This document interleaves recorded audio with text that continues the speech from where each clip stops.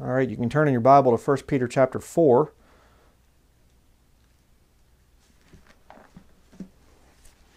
First Peter chapter 4.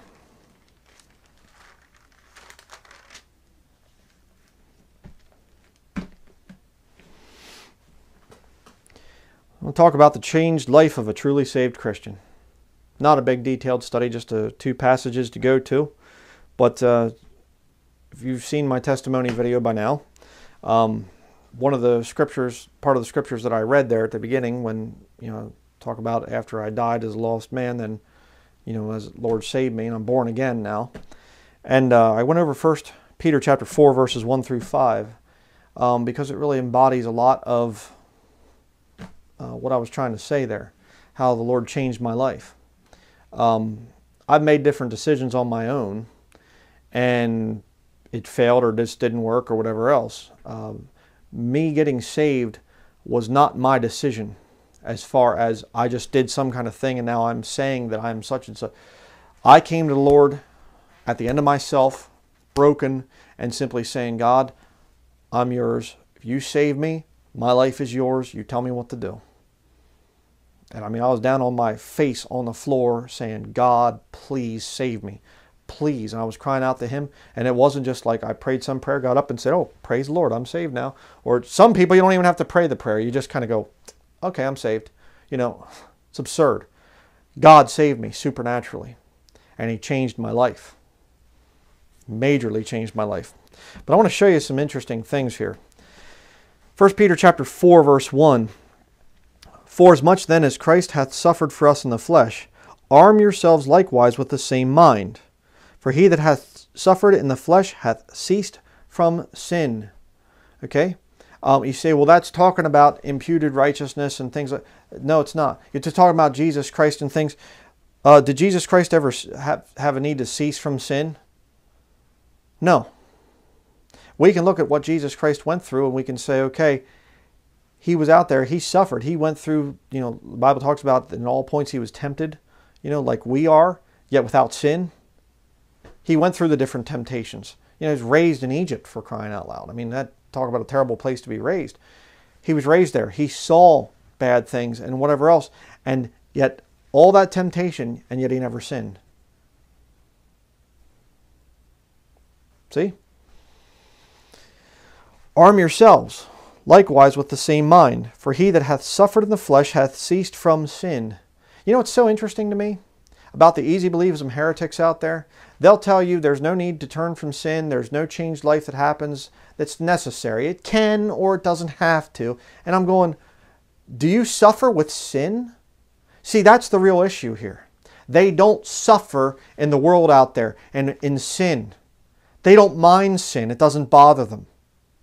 But those of us that came to the end of ourselves, we came there because we were living in sin and we were having a horrible time in the world and about ready to blow our brains out. Just like, God, if you don't save me soon, I'm just going to kill myself. And if I go to hell, fine, whatever. I don't care. I want out of this life that I have. It's miserable. It's terrible. Please help me.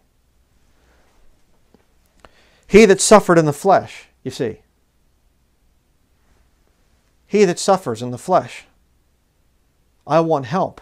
They that are whole have no need of the physician, but they that are sick. I came not to call the righteous, but sinners to repentance. Mark 2.17. You're sick. You're tired of the life that you used to have. You want a change. Do you understand? And so when the Lord saves you, it's not that you cease from sin in the sense of you don't lie, you don't ever, you're not ever jealous, or you're, you're not prideful, or no, no, no, no, no, no, no. That's not it. It's talking about sins that you used to struggle with. You know? Years I spent in vanity and pride, caring not my Lord was crucified, knowing not it was for me he died on Calvary, the old hymn says. You go through years and years and years of messing around in the world, you get saved and you say, Oh, thank you. Finally, somebody can help me get out of this life that I've had. You cease from the sins of your past, you see. Your life changes. And what a glorious change. What a wonderful change in my life has been wrought since Jesus came into my heart. Another old hymn. Verse 2 that he no longer should live the rest of his time in the flesh to the lusts of men, but to the will of God. All of a sudden, your interests change. All of a sudden, your life changes. And the things that you used to do in your past, now you don't want anything to do with them anymore. Why? Because of a supernatural rebirth. Not because of the mind saying, I have now prayed the prayer, I have now believed by faith or some other kind of a thing, so now I'm going to live according to the Baptist faith or the confessions of Calvin or the Roman Catholic Catechism or the uh, Book of Discipline, you know, Methodist Book of Discipline or something like this. no. God's Holy Spirit moves in and starts to say, change that, stop doing that, I'm going to help you with this. Yeah. You want to live according to the will of God. Verse 3 For the time past of our life may suffice us to have wrought the will of the Gentiles when we walked in lasciviousness, giving yourself over to animal desires, lusts, excess of wine, revelings, banquetings, and abominable idolatries. You say, wait a second, yo, huh? Hold on there. You're supposed to be a dispensational preacher, Bryan. But look at that. It says, uh, suffice to have wrought the will of the Gentiles. See, Peter is writing to the Jews. So this has to be for the time of Jacob's trouble. Uh, well, the problem with that is, if you go over to 1 Timothy, chapter, get it here, excuse me, 2 Timothy. I always get 1 Timothy and 2 Timothy mixed up on 3.16. 1 Timothy 3.16 is about, you know, the mystery of godliness. 2 Timothy 3.16 is about the purpose of Scripture. 2 Timothy 3.16, All Scripture is given by inspiration of God and is profitable for doctrine, for reproof, for correction, for instruction in righteousness, that the man of God may be adequate. Uh, no, it doesn't say that. That the man of God may try to not sin, but he'll still be sinning his whole... It doesn't say that either. It says that the man of God may be perfect, thoroughly furnished unto all good works. And don't give me this thing of, well, it's just about imputed righteousness, brother, because, you know, none of us can really be perfect. And so technically, in Christ, the, the sins are paid for. We're supposed to strive against sin. We're supposed to fight against sin. We're supposed to purify our lives. Again, all these different systems out there, all this different stuff, it's all about let's bring the standards down on sin. Let's take an easier, lighter attitude towards sin. That's what it's about. But let's go back to 1 Peter chapter 4. So we see all scripture is given by inspiration of God and is profitable for doctrine, for reproof, for correction, for instruction in righteousness. So I can use this even if it's for a Jew in the time of Jacob's trouble. And I don't believe it is. Uh, First and Second Peter, I believe, are, you know, Peter is the apostle of the circumcision, the Jews. Paul is the apostle to the Gentiles. Now, I believe that they're writing to the same group saved Jews, saved Gentiles. I believe that that's what's going on there. Now, of course, God has given the nation of Israel, the Jewish people, there's a, you know, blindness in part has happened to Israel until the fullness of the Gentiles be coming in, come in. So there's a sense there spiritually where there aren't going to be as many getting saved as there will be in the Gentile world. So some of it in 1st and 2nd Peter will kind of overlap and like if you don't get it now, you're going to get it in the time of Jacob's trouble kind of a deal. But there's still a lot of things that could be called rightly called church age doctrine in 1st and 2nd Peter. And this is one of them and I'm going to show you it lines up with what Paul said. Okay? To the uh, Ephesians. But let's continue here. And we saw, saw all the things there walked in lasciviousness, lust, excess of wine, revelings, banquetings, and abominable idolatries. Yeah. Uh, what is one of the big idolatries that Americans and people, well, anybody today, what's one of the big idolatries? Take heed, beware of covetousness, which is idolatry. Covetousness. You make an idol of the new truck that you want, or the new snowmobile, or the new ATV, or the new dress if you're a woman, or the new purse, or the new shoes, or the new. You see what I'm saying? covetousness. And in the past, what was the point of fighting against it? You see, when you're lost. You walked in the thing of abominable idolatries. Yeah. But look at what people think.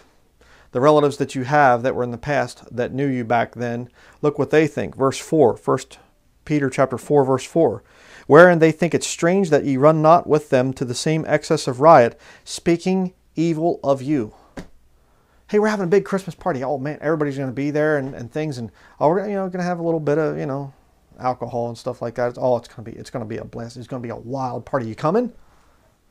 Are you kidding me? I'm not coming to that thing. Oh, you got plans? Uh, yeah, I'm, I'm going to stay home and read the Bible. yeah, okay. Uh, okay, man, seriously, seriously. Are you coming to the party or, not, or aren't you? Um, actually, I was being serious. I'm going to stay home and read the Bible. Oh, okay. Uh, uh okay, whatever. All right. Uh, well, it's nice talking to you. Did you hear what this? Did you hear what he's doing? He's staying home reading the Bible. That's weird. You know what I mean? And I'll tell you right now, it'll get to the point as a Christian where you get invited to things and stuff like that from family or friends or whatever else, and you just say, nope, sorry, not coming. Well, so and so's going to be there. You're going to offend them. I could care less. I don't care. I haven't been invited to a birthday party or whatever. I had a niece get married. Oldest brother's, uh, not oldest brother, uh, older brother, uh, my brother Dean, his daughter Anna got married. I didn't even, we didn't even get a, a wedding invitation. I didn't even know she got married. Why? Because I don't want uh, old Uncle Bryan there with his King James Bible. He's uh, militant. He's gone into a cult mentality. He's this, he's that. Whatever. I could care less. Got to get to that point. Verse 5 Who shall give account to him that is ready to judge the quick and the dead? Okay? We're going to give an account to him that is ready to judge the quick and the dead. Oh, well, uh, I don't know. Maybe I should go to that family event, or maybe I should go to the wedding there at the Catholic Church because I was invited, and maybe I should go. I don't want to offend anybody. Are you going to offend God by going? Well, well, what? If you're going to offend the Lord, then don't go. Well, they, they, they might write me out of the will. Good. Uh, they might never speak to me again. Also good. Yeah. Um, you see, when you have a changed life as a Christian, now you have a responsibility to live for the Lord. You're His property. So you have to go through that process of sanctification. And anything that gets in the way of that sanctification, you say, get that out of here. I'm walking with the Lord. I don't want this stuff from the world anymore. You see? That's the way it's supposed to be. But if you still want to say, well, you know, First Peter is, you know, for the Jews, it's only for the Jews in the time of Jacob's trouble. Okay, let me ask you a question. Are they going to have a closer connection to the Lord to cease from sin than a Bible believing Christian does today? Some Jew in the time of Jacob's trouble that can take the mark of the beast and lose their salvation, they're going to have a closer connection to the Lord and a more of an ability to cease from sin than you do right now as a Christian, connected to Jesus Christ, one flesh with Jesus Christ? You say, well, okay, maybe it is partly for a Jewish Christian. Okay, um, God's there's no respect of persons with God. There's neither Jew nor Gentile. There's neither bond nor free. There's neither male nor female. We're all one in Christ Jesus. You see? I'm a dispensationalist. I am a dispensationalist. I'm not a hyper dispensationalist. That's where, you know, some of the stuff starts to come in there. They say, well, Peter, you know, that's, that's, he's a different church. Um, and Paul, he's the church of the one body or something like this. He's foolish nonsense. Um, no, actually, they're going to different groups. So if you find a Jewish person and they're saying, oh, I don't know, I you know this Pauline epistle stuff, it, some of the things he's writing there, you know, one man esteems one day above another, and uh, another every, you know, day alike, and, and let every man be fully persuaded in his own mind. I don't know what to do. You say, okay, turn him to First Peter, read that stuff. Different instructions for different Christians is what I see it as. All right. but let's see what Paul has to say about the thing of a changed life. Ephesians chapter 4.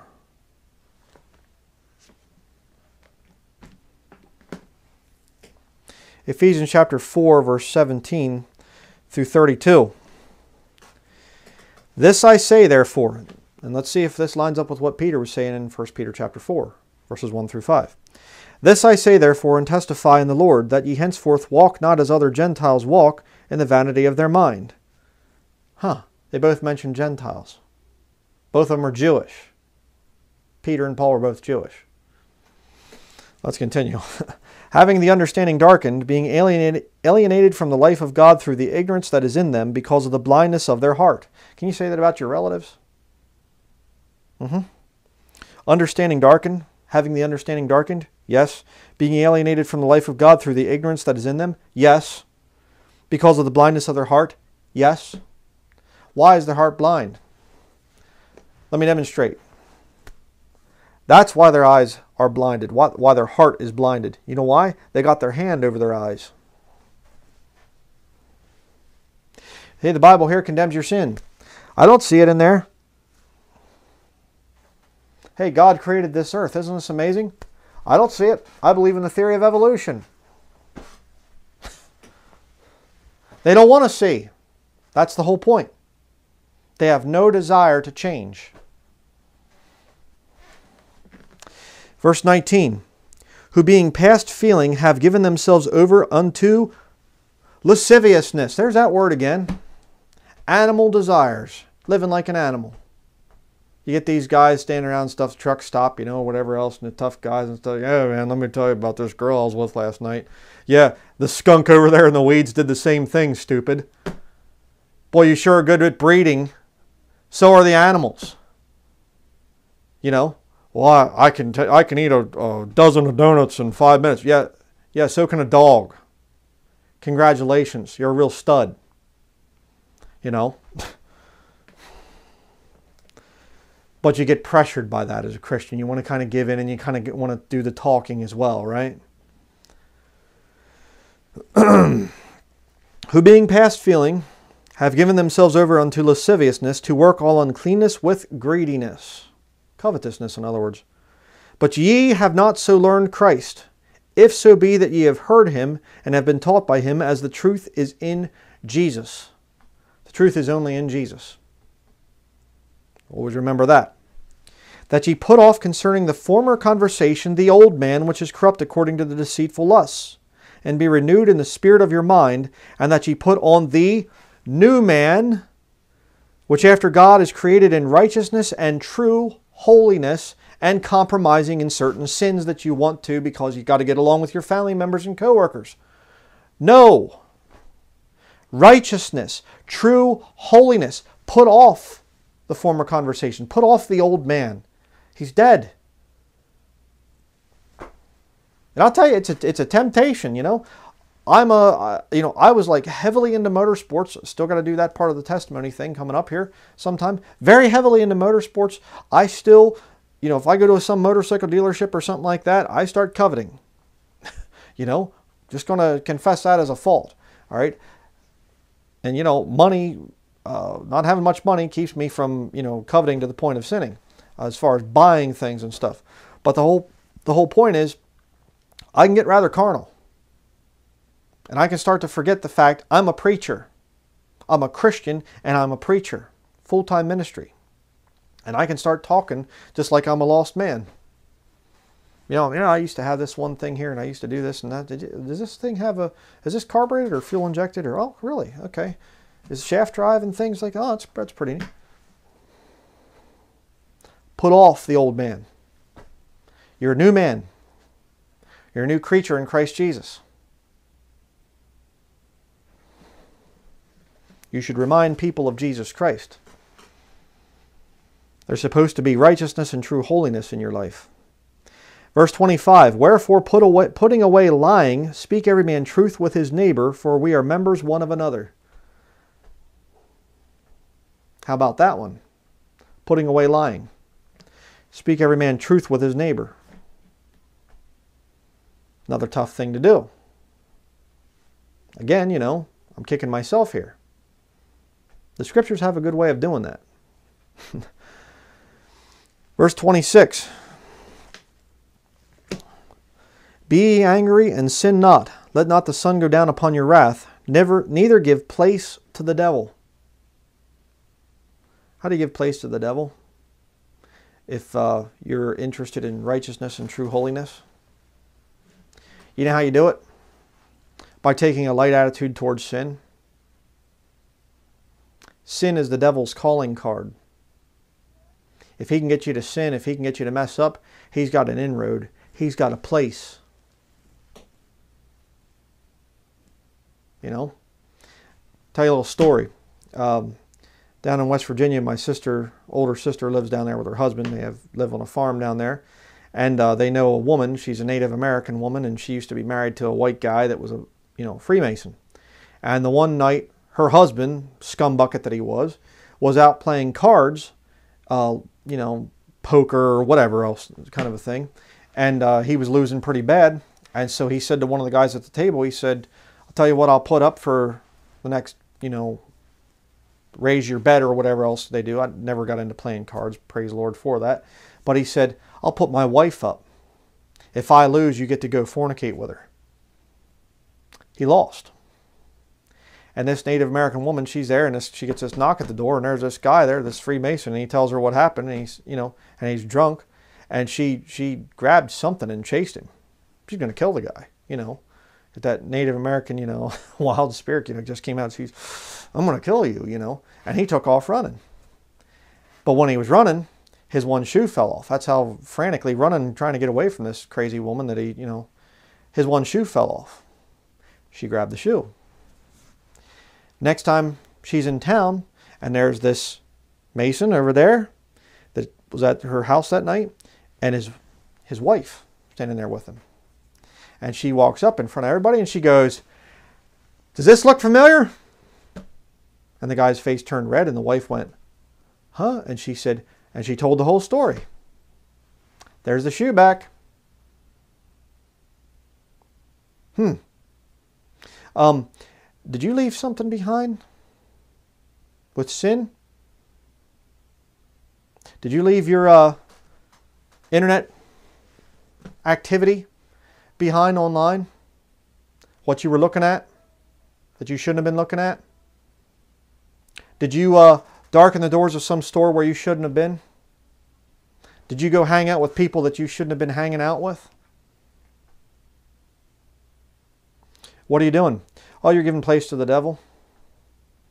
You're giving the devil some uh, ammunition, so to speak, that he can use as he's accusing you day and night up there. What are we supposed to do, brethren? We're supposed to have holiness and righteousness, true holiness and righteousness. That's what we're supposed to do. We're supposed to have a changed life. And the devil's ministers are down here right now saying to you, there's no changed life. There's no repentance. There's no turning from sin. There's none of that stuff. All that stuff. That's lordship salvation and things like this. And you look in your Bible and you say, what, what is lordship salvation? I don't see the term in here. It's a man-made term that a bunch of sick devils have created to get people to get all philosophical about sin and things like this. Because they're trying to justify themselves. They can't stand the Bible, is the reality of it. Let's continue. Verse 28 Changed life. Let him that stole steal no more but rather let him labor, working with his hands the thing which is good, that he may have to give to him that needeth. Total changed life. Here's a guy who's a thief, probably been to jail a few times and whatever else, gets saved, and he's out there working, and he comes up to somebody he's stole from, and he says, "Here, this is for you." Is this some kind of trick or something? I don't have any. Do you want my money or something? No, no, no, no, no. I don't want your money. I got saved. The old timers, they'd call it so and so got religion. It meant a changed life, you see. There's a famous story of Alvin York. They even made a Hollywood movie about it. I don't recommend that, but you know, I have the book here someplace. Um, see if I can just see it quick. I have it here somewhere. And uh, Alvin York was a was a real uh, rotten young man. He was a World War One war hero here in America, and uh, real real bad guy and uh, he got saved. And his whole life just went whoop, bar hopping, womanizing, fighting, shooting just violent guy and everything else, just a wild man. And he got saved and just whoop, teaching Sunday school, reading the Bible. His life changed. And I remember the one time, I've, the uh, biography that I have of him, and um, his biographer was sitting there talking to him, and he said, uh, "Tell me about your life before you got saved, before you became a Christian, born again Christian." And he and he said, Alvin York just looked at him, and he just went, "Nope." He wouldn't talk. Just shook his head. Didn't even want to talk about it. Changed life. Verse 29 Let no corrupt communication proceed out of your mouth, but that which is good to the use of edifying, that it may minister grace unto the hearers. And grieve not the Holy Spirit of God, whereby ye are sealed until the day unto the day of redemption. Excuse me. How do you grieve the Holy Spirit of God? Well, if you look up there, uh, verse 22, that ye put off concerning the former conversation the old man which is corrupt according to the deceitful lusts. You grieve the Holy Spirit of God by resurrecting the old man. Hmm. It's kind of like uh, a child and they have a uh, favorite toy or something like that, and um, that toy falls in the toilet or something and gets extremely defiled, and the parent says, "There's no way I can fix this. I'm sorry, son," and they take it and they throw it in the trash. A little while later, a couple days later, they smell this horrible smell in the one room in the child's bedroom, and they go, "What in the world is going on here?" And they look over underneath the bed, and there's that toy laying there, all over the sheets, all over the carpet, and everything else. And they go, "What are you doing?" That's disgusting. Well, that's the way it is with a Christian that resurrects parts of their old life, that wants to hang on to those certain things. They don't want that new life, that changed life, the filthy rags of your own self righteousness, you know, and you resurrect that. You forget that you're born again, that you're supposed to be different. Verse 31 let all bitterness and wrath and anger and clamor and evil speaking be put away from you with all malice. And be kind one to another, tender hearted, forgiving one another, even as God for Christ's sake hath forgiven you. Uh, I try to be real nice to the brethren. I really do. I mean, I've had people come to me and they say, Brother Bryan, I really have messed up. And they tell me what they've done. I say, Oh, brother, what are, you know, what are you doing about that or whatever else? I will be the most gentle, loving guy that you've ever seen. Um, my anger is reserved for those people, like the Pharisees in Jesus' time, that were trying to continually turn people away from the truth. Um, my anger and my harsh speech is for those people that are trying to destroy and pervert the Word of God and pervert the gospel. I'll be harsh on them. But if I see somebody and I see, yet they genuinely they, they told me their testimony and things like that. I think that they are genuinely saved. They're being honest with me. They're saying brother i just did this thing or i'm really struggling with this. You know can you help me? Can you offer some support here? What should i do? And, and things like that. I'm going to be gentle okay? But if i see sin if i see somebody involved in open sin and they're unrepentant um, I'm going to be a lot harsher in the future. Uh, I need to be. So, and I'm going to be a lot harsher on myself. Uh, I want to be used mightily of the Lord. Uh, I want to, you know, I want to be able to stand before the Lord someday and have Him say, Well done, thou good and faithful servant. Uh, that's what I want. And the only way I can have that is to have a changed life and to cease from sin so, sinless perfection. He's teaching sinless perfectionism. Shut your mouth. I'm not teaching sinless perfection. That is nonsense. I have a whole study against the thing of sinless perfection. What I am teaching is the things that I know are wrong in my life and the Lord's convicting me, I need to stop those. That's what it means to cease from sin. Are you going to do it? Right now, I can tell you right now as a Christian, there is a connection here that's the Holy Spirit of God. And you can't, you know, I might not be able to talk to you and whatever else and see you face to face and whatever. And maybe it's a sin that you are very ashamed of and you don't want to tell any about it, anybody about it, much less put it in the comments for everybody to see. You know, you're just like, I really have this thing, whatever. But here's the whole point.